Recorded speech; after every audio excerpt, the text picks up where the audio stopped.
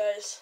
I'm just gonna be doing some of my like cool slash weird stuff today here. You know, I got the little hand stuff right here. So yeah, let's do it. And yeah. Um, first off, I'm just gonna start out with this like it's a 3D printed model of my bottom teeth, and this. Oop, I got this when I went to the orthodontist place to get this to get a mouth guard that I needed because if you look closely, um, that right there is grinded down, and the other side is too. But this is cool. It's just like a model of my teeth on the bottom. Next, I have Doug Baldwin. I got this when I went to Seattle. Um, yeah, it's a nice card. It's encased in this blue case. You know, Doug Baldwin Seahawks. And then, you know, Walter Payton. Gotta go with the Walter Payton. No, sorry, it's like glaring off my phone. But, yeah, I got this in Seattle too because I went to the flea market there. And my favorite one, Bo Jackson in college. It's a really nice card. You know, comes in the red casing. Also got it in the flea market. So next I got, it's kind of like three different things here. These are all pointed. Well, here's, first off, I got a trash knife. So basically, I was at this camp place that I really hated, and I wanted to make like some kind of like stick knife because it was an outdoor camp.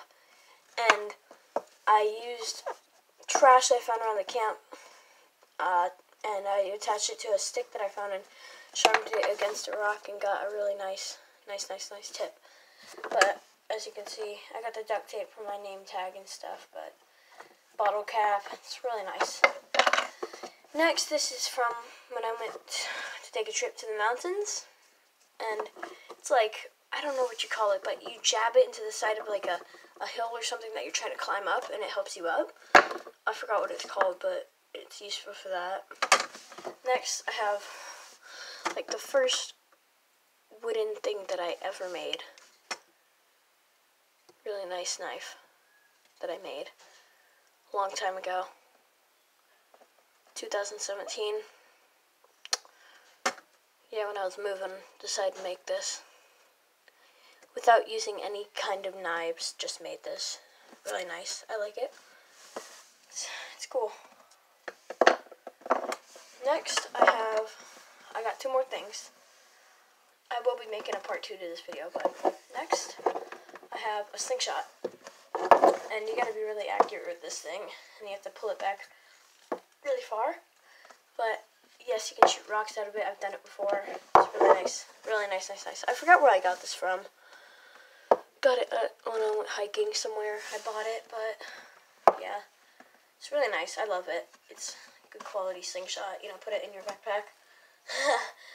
you know. And then, last but not least, I got this cool survival bracelet. A2 Survival. I got this for my birthday last year. And comes with a compass, working compass. Comes with a ferrocerium rod so you can strike sparks off with this little blade here. I'm not going to do it now because it's kind of hard to do it at this angle. And whistle if I haven't already said that. And then you can use the paracord. But yeah, that's pretty cool. Um, that's all my stuff right now. I will post again maybe later today. I know it's like gotta check. 6:45. But yeah, I'll keep you guys updated. You know, some just weird stuff that I had. And I'll see you guys later. I will make a part two of this video. Peace.